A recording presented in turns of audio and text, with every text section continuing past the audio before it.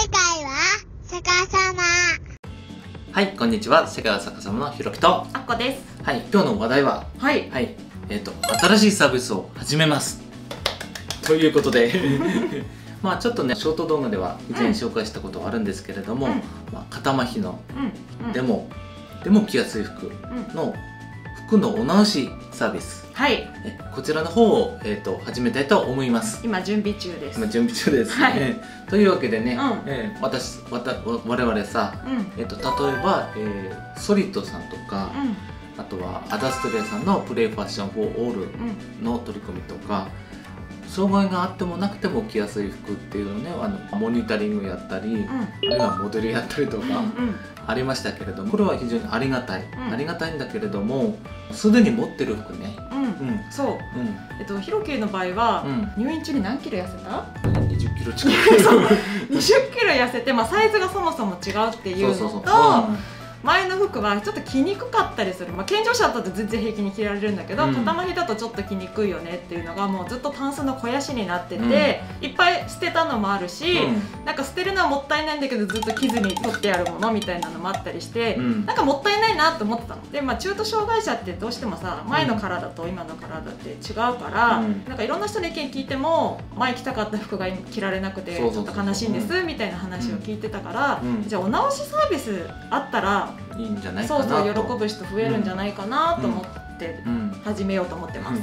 特に私ぐらいの年代だとさ結構お気に入りの服、どうしてもあこれ着たかったんだけどなって、うんうんうんでもう着られなくなっちゃったなっていうのが結構あるのでうんそれをねなんとかしようとはい、なんとかするんだったらもう 誰に誰かに頼むよりうん。自分たちでちょっとやってみようとうん。いうことで、はい。えー一応コンセプトが、え3つございまして、はい。じゃああっこさん説明とお願いします。はい、1、まあ、肩麻痺でも着やすい、はいはい。まあ、いろんな障害があると思うんだけど、まずは、まずはね、うん。ひろきが着やすい服、そうそうそう、うんこういうサービスってまずさ自分のニーズから始まるじゃん。そうそうそうそう、まあ、ゆくゆくは、うん。いろんな障害に対応した服のお直しサービスに広げていきたいとは思ってるんだけれども、まずはまずは。肩麻痺の人。うん、具体的に言うとやっぱり手が不自由でうん。なかなかこう服を着るときに片手しか動かせない、そうというような人。そうそううんある肩麻痺の人でも着られるっていうのが 1, 一つ目。うん、で2つ目が、は自分で着られる。そうね、うん。これこれ大事。そう、ん。これ大事で、ちょっとだけ服なんか加工してあれば自分で着られるのに、されてないがためにうん。手伝ってもらわなきゃいけないとかっていうのって結構あるでしょ。でそれがさ自分で着られるようになったらさ自由度が上がると思わない？うん私の例で言うと、うん。ワイシャツがさそれこそ仕事あ発症前はうん。仕事で結構着る機会あったんだけどこうピシッとしたさワイシャツがとにかく今もう着らなくてね、うんうん。まあ仕事上あんまりスーツは着なくてもいいけど、うん。例えばね冠婚葬祭の時とかは着なきゃいけないじゃん。うん。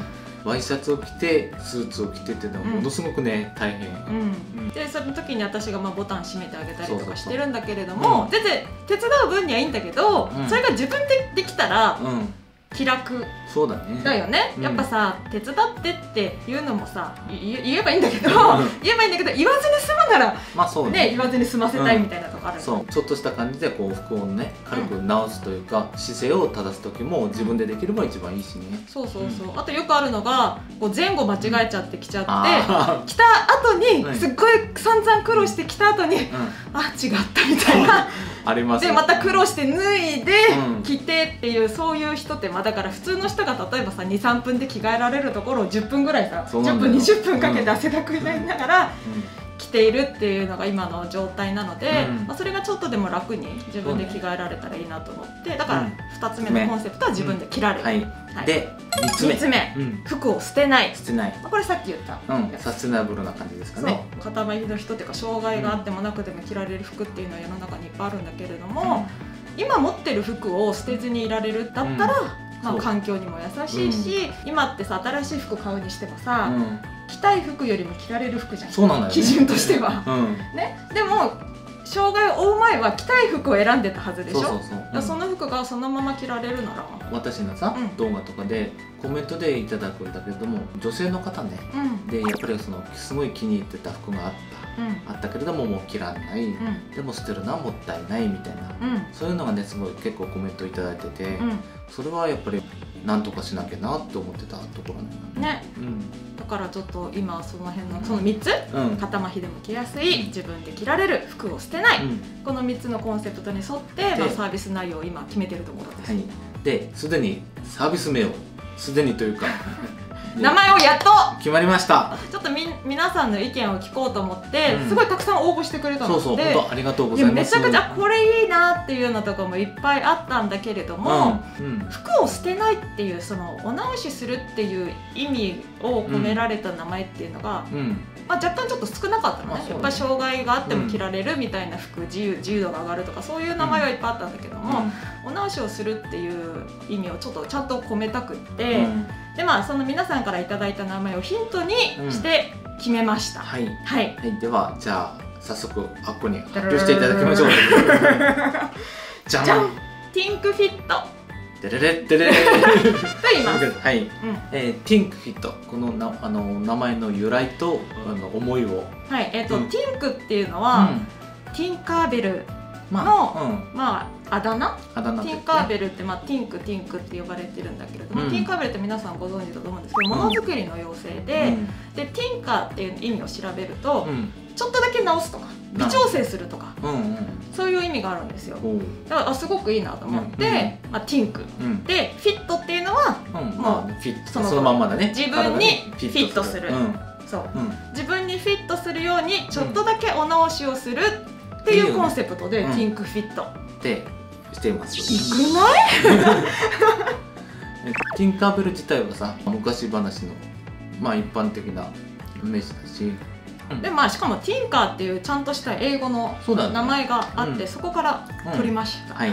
で現在はうん。まだ、あのサービス段階というかサービスのままだ前えっと準備中で、えっと今は30人ぐらい、まあ、うんちょっとショート動画で協力者募集っていうショート動画を作って、今そのそれに「いいよ協力するよ」って言ってか言ってくれた方たち30人ぐらい集まってるんですけど、うん。そこでいろいろ意見交換。うん。うんただこういうのが不便だって言ってこっちがじゃあこういうふうに直してみたけどどう？って聞いてあそれだとこうだねああだねみたいな。今うん。ちょっと意見交換をいろいろしていて、うん。それで作品を作ったりっていう試行錯誤中です、うん。でももうすぐ始められるかな、うん。みたいなうん。感じ。いやでもねやっぱ予想以上に大変だなって思うよ。あの私自身もさうん。あのこういうのがあの聞きづらいとかね、うん。あるんだけれどもいざさ思ってるからさうん。じゃあこうしたらいいんじゃないかってうん。仮説立てるじゃん、うん。で実際に作ってみるとあれなんか違うな。そう何か違うなってなるんだよね,、ねそれがね難しいところであり面白いところではあるんだけれども。そうそうそうそうそう。そうやっぱさ、うん。まあ、肩麻痺当事者じゃないともちろんわからない、うん。裁縫担当のうん。千恵さんっていう方私の友達の千恵さんっていう方がいるんですけど、うん。もちろんその方は肩麻痺についての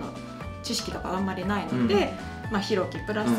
まあ、30人ぐらいの当事者の方たちの意見を聞いてうん。それを反映させて作ってみたいなことをいろいろやってるんだけども、やっぱねうんうん一筋縄にはいかないね。ね。うん。私は逆にさ肩まひ肩まひの知識というか経験はあるけど、うん。裁縫の経験なんじゃあない？そうそうそうそう。確かに確かに。うん。とりあえず投げるの、そうすると千恵さんが、うん。あこれはちょっとこうするとちょっと不不都合が出るかもみたいな感じで裁縫の知識はめちゃくちゃあるから、うん。そう服の構造とかね。そうそうそうそうそう、そうするとあそうかそういうふうになっちゃうんだね。じゃあ今度はこうしようかみたいなので今めちゃくちゃ盛り上がってやってるところです。です。うん。まあ今は生みの苦しみというか一番大変いろいろ大変な時期だと思うんだけれども。せっかくね。出すならみんなにやっぱり満足してもらいたいとか喜んでもらいたいので、ちょっとここは、はい。あの我慢して、うん。サービスの内容をしっかりと精査しているところです。はい。はい、まあねその辺もね、うん。いや現在今一番その辺で、えー、と LINE のオープンチャット、ううん、オープンチャットでいろいろ活発な議論をしておりますので、